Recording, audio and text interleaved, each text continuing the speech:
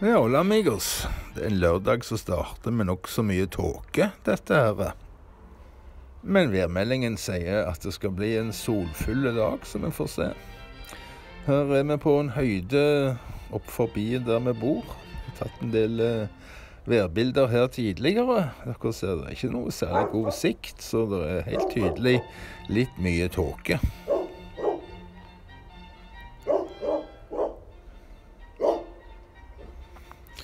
Det er Pongo som snakker i bakgrunnen her. Uff, jeg er så irritert på Pongo.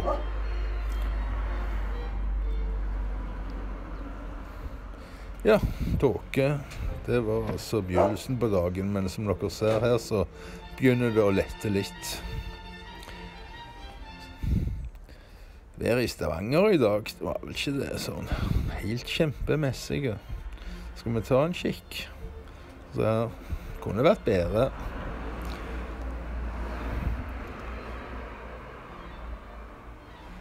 Men tåken letta iallfall i eh, Merida, sånn at vi fikk en flott dag. Jeg syns kaffebloggen i dag var verd å se, så nå skal vi vise den her på Værbloggkanalen.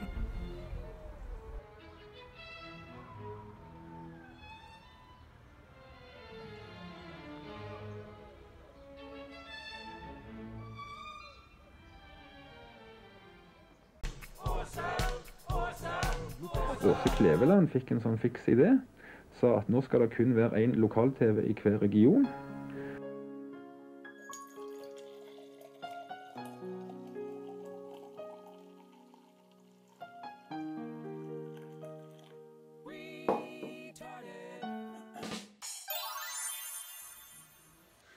Ja, riktig god morgen, venner.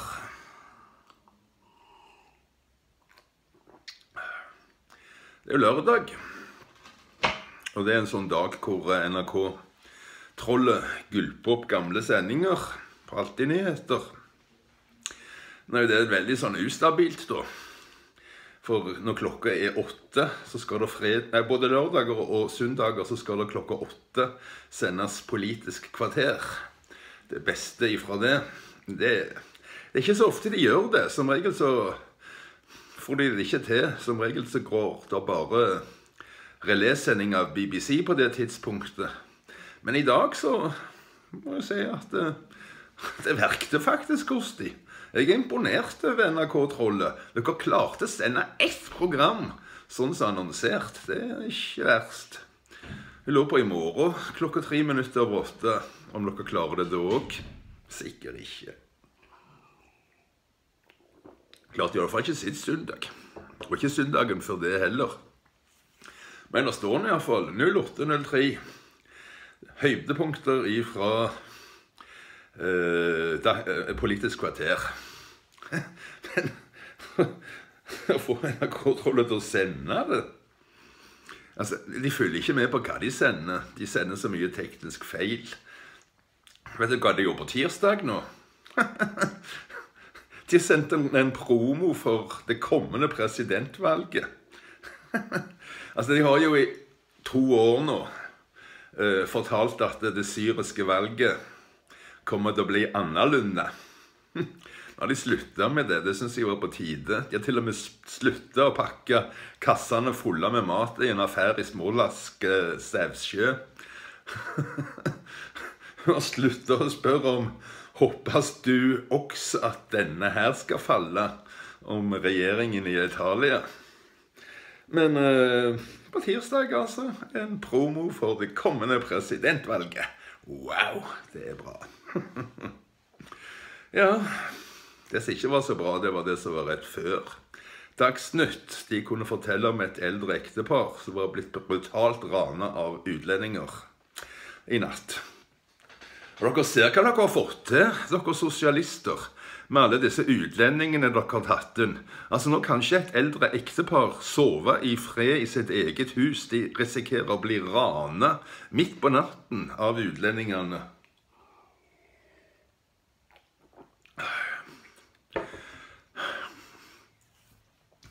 Ellers er jo statsministeren vår Hun er jo helt på trynet, da. Så at hun anklager meg for å være naviker.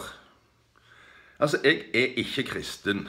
Kommer ikke til å vurdere å ville bli det. Altså, jeg har skjønt bløffen med den der guden deres. Jeg vet da ikke. Den, det er bare oppspinn. Det er forsøk på hjernekontroll. Altså, ved hjelp av kristendom så kan de styre hjernen din. Det er det de prøver på, det er det de holder på med. Men de klarer ikke styre min hjerne, for jeg har forstått at det fins ingen sånn en gud som de beskriver i denne bibelen sin, som de beskriver i kirkene. Det er så helt for jævlig dumt å tro på noe sånt. Bruk hodet. Prøv å se hvor logisk denne guden er. Du vil jo måtte komme til den konklusjonen at det finnes ingen gud. Sånn at det er Erna Solberg som tror på denne guden som er avvikeren. Jeg syns det er helt på trynet. Hva syns du, Gustav, om å kalle alle som ikke tror på Gud, for hedninger? Det er hedenskap.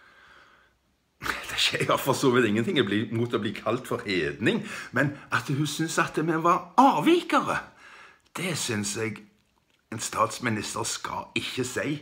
Altså, vet du at det, Hun kaller 80% av den norske befolkningen for avvikere. For det er faktisk bare 20 som er så dumme at de tror på denne guden.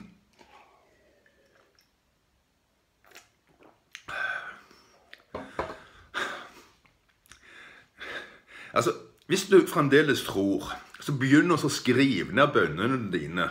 Noter ned hva du ber om, og så se om det noen gang går i oppfyllelse.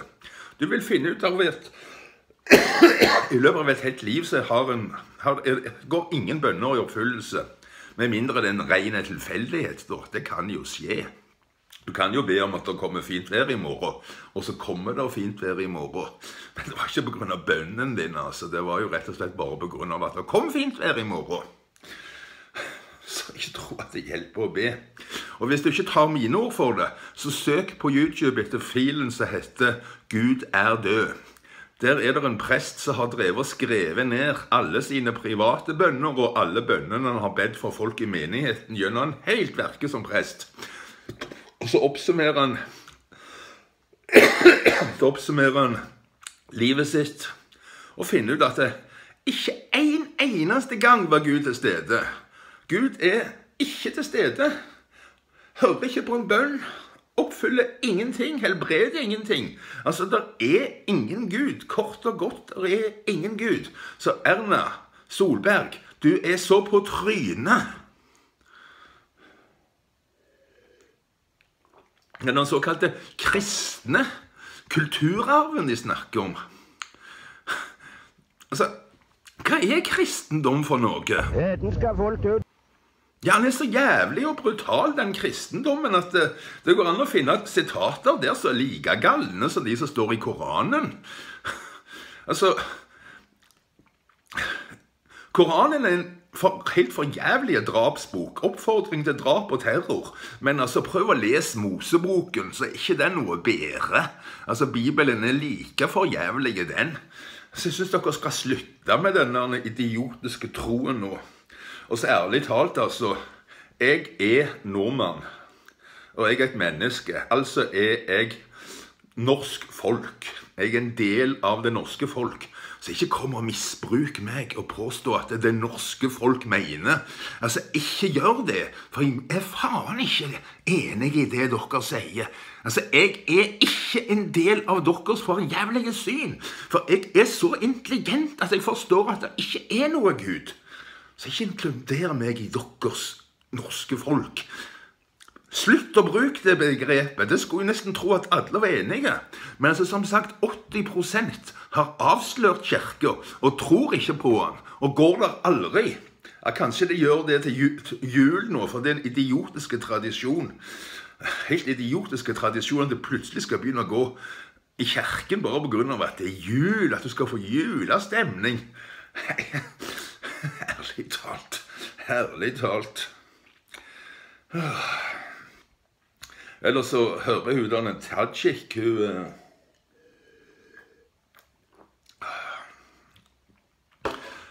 Ikke om jeg kan si noe om henne. Jo, jeg kan si bitte litt om henne. Hun sier at uh, vi skal ha så stor tillit til politikerne. Uh, uh, hun sier hun er inne på det. Altså, De snakker om dette eh, krisevalget i statene, det som gikk jo helt til helvete. Om det samme kan skje i Norge Altså, det er ingenting som forundrer meg med Norge. Altså, Vet dere hvem de hadde som kulturminister i Norge? Så når noe så jævlig kan bli kulturminister, så selvfølgelig kan eh, noe like gale bli statsminister i Norge. For å si det sånn, Den sittende regjeringen arbeider jo for å få inn en ekstremist. En eh, sosialistekstremist i all hovedsak, da. For det, den sittende regjeringen, det de holder på med, det er jo kort og godt å øke forskjellene i samfunnet så godt de kan. Altså, De tar mest mulig penger fra alle fattige. Spesielt uh, uføretrygda skal visst virkelig få gjennomgå. Og pensjonister de skal kuttes. Pensjoner det, det lyder ikke godt i regjeringens øyre, så det vil vi ha minst mulig av. Så kutt vekk alt som går til folk som ikke har mye penger fra før av. Og så gi de rikeste skattelettelser så de blir enda rikere. Så da blir det omtrent sånn som i statene til slutt, med enorme forskjell i uh, levestandard og lønningsnivåer. Det er ikke det at det er gale nok i Norge sånn som det er, men regjeringen holder jo på å gjøre det enda verre. Og da går det faktisk an å tenke seg at det blir valgt en galen populist i Norge òg, sånn som de gjorde i Statene nå med Trump.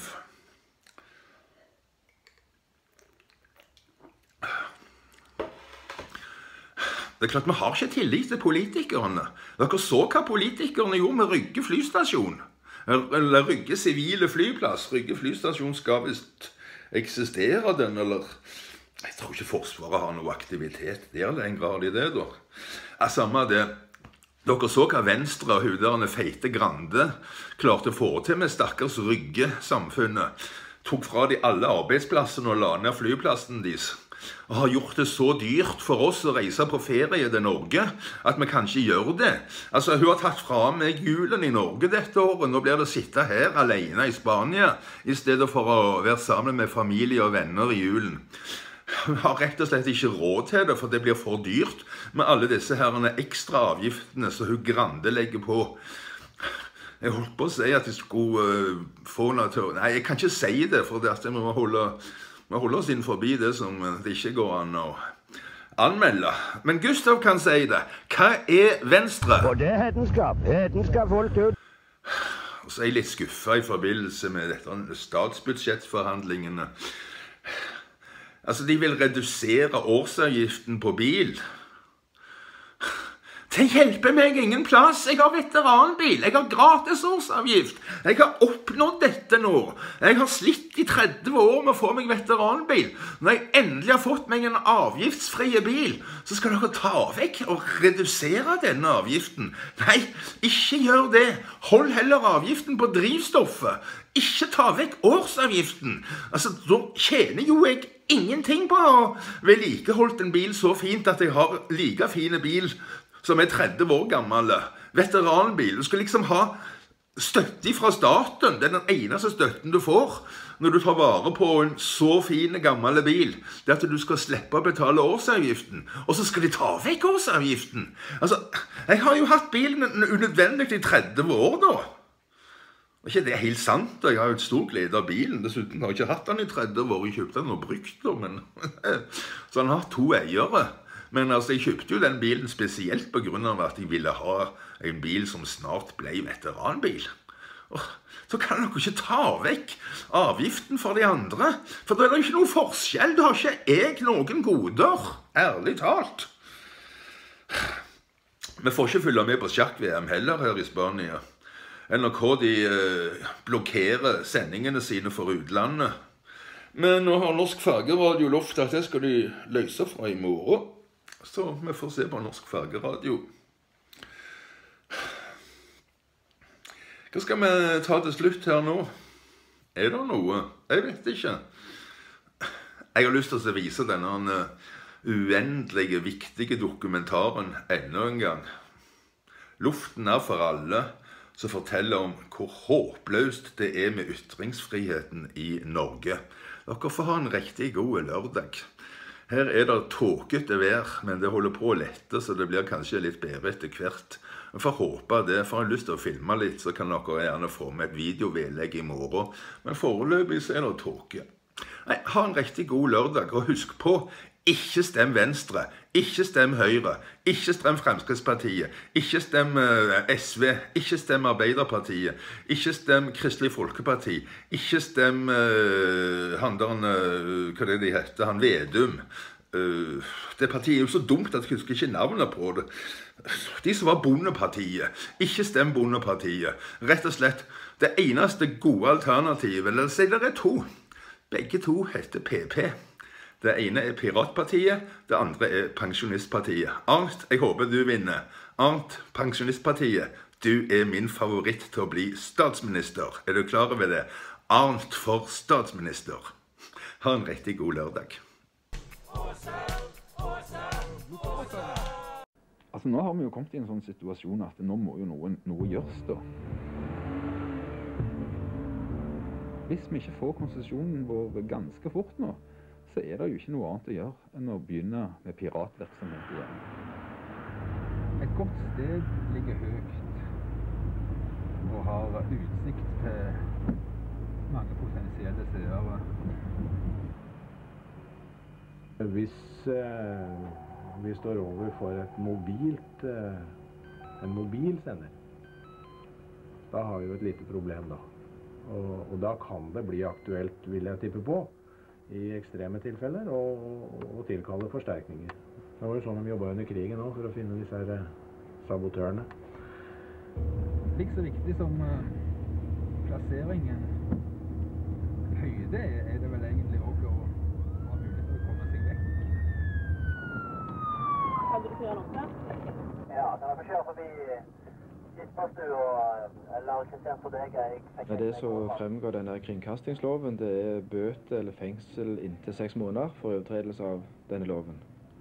Det ideelle sendestedet det har mange fluktveier og ligger høyt og høyt. Det jeg tenkte vi skulle kjøre nå, det har ikke det, så det er sikkert redusert.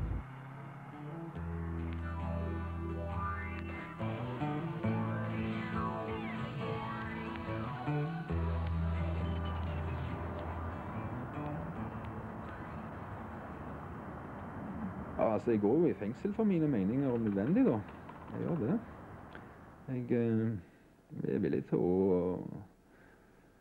benytte meg av piratsendinger, som jeg gjorde for 18 år siden.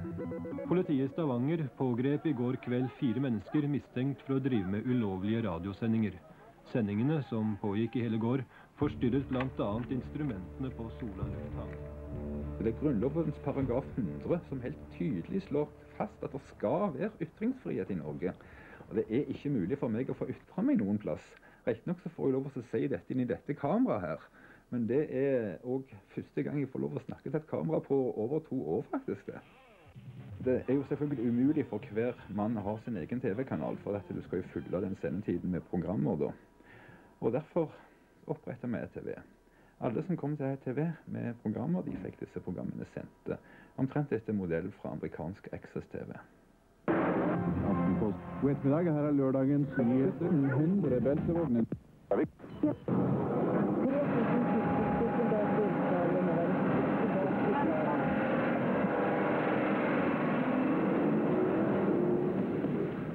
Vi pleier å si det sånn Velkommen til en velfortjent hvil, ETV.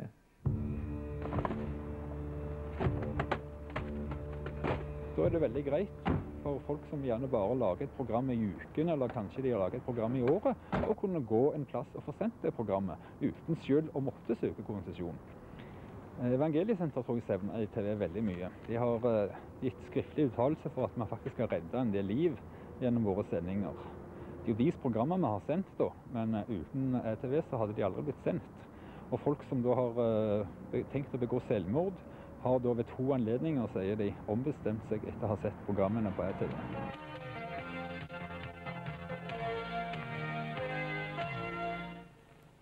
En tilflukt for den utslåtte, evangeliesenteret. Vi har uh, mottatt uh, en veldig respons på det. Uh, folk som har sett programmet fra Evangeliesenter-TV, og folk som er i nød, har rusproblem, trenger hjelp. Som, som ikke har kjent til oss, faktisk.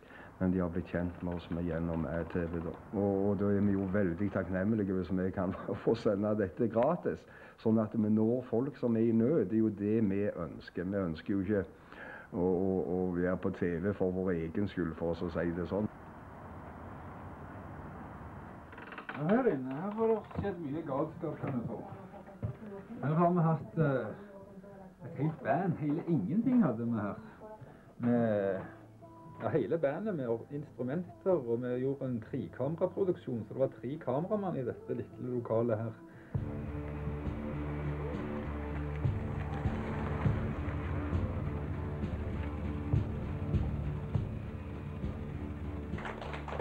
Tusen takk for vakre ord fra Arild, og ønsker de velkommen tilbake med en senere anledning. Hjertelig velkommen tilbake. Det er en belastning. At eh, min seriøsitet skal bli redusert pga. at jeg sender programmer som andre har lagd. Pga. at jeg velger å sende programmer for det om eh, vi velger en annen kvalitetsstandard enn det NRK gjør.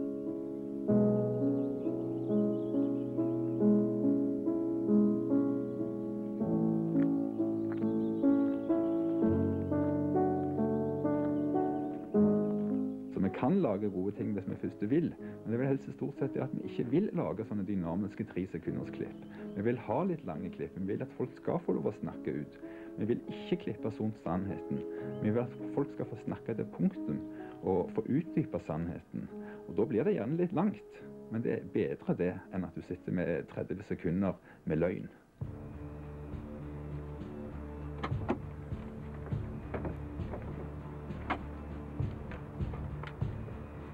Vi søkte jo konsesjon umiddelbart etter at vi ble fratatt den gamle. Og vi har purra noen ganger. Sist gang for over ett år siden. Jeg har ringt en del ganger. Det kommer aldri noe svar fra Statens medieforvaltning. Så de trenerer saken og nekter eh, å besvare telefonen.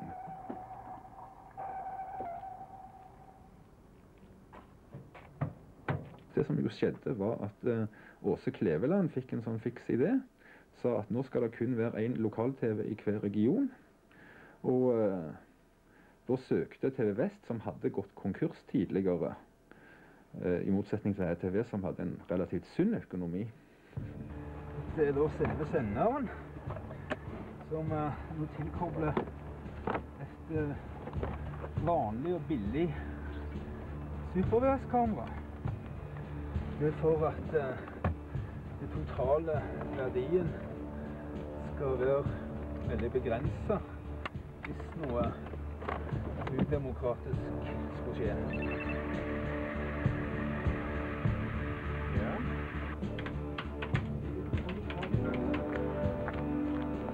Hvis uh, plutselig TV Vest begynte å stille seg åpen til å motta innslag fra absolutt alle, at til og med jeg kunne komme med der med en teip og få den sendt, så tror jeg nok at interessen min for å drive og kjempe mot monopolene ville være veldig redusert.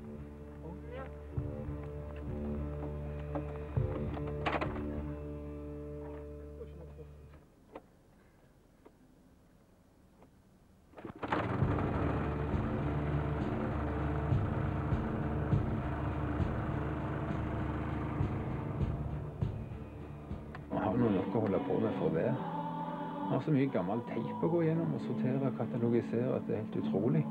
Pluss at vi produserer jo en del innslag fremdeles. Først og fremst for amerikansk TV. Det meste vi produserer nå, blir bare vist i Statene. En av de som har fått eksportert litt, og er jo Flammehunden Kid.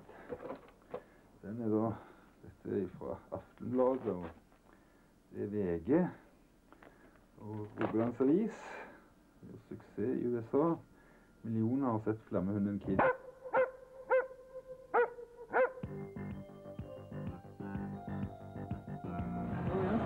slå på.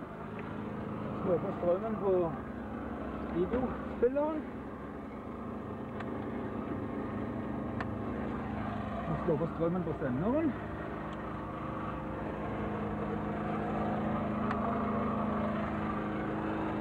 Så kan vi starte et program som har noe å stille inn etter.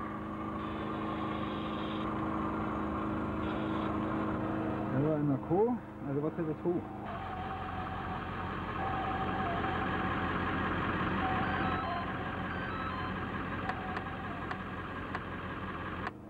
TV Norge. Og der er TV. Ja, det kribler jo alltid litt i magen. Det medfører jo alltid en viss risiko å sende pirat-TV. Så eh, det er klart, jeg har jo alltid en viss nervøsitet for at noen skal komme og kjøre opp veien her, da.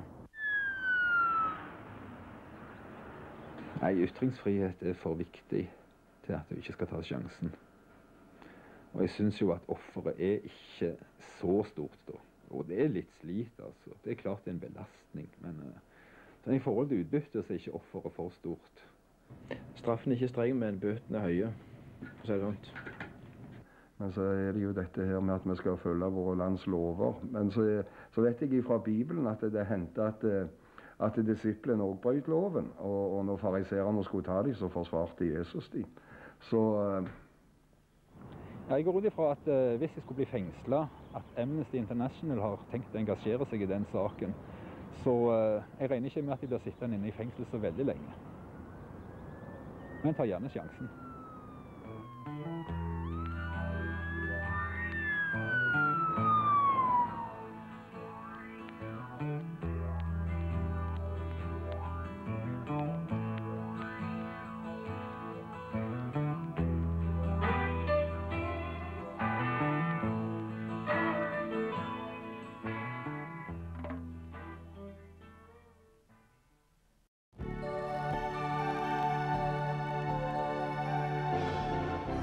You don't have any art, you're pretty much lost.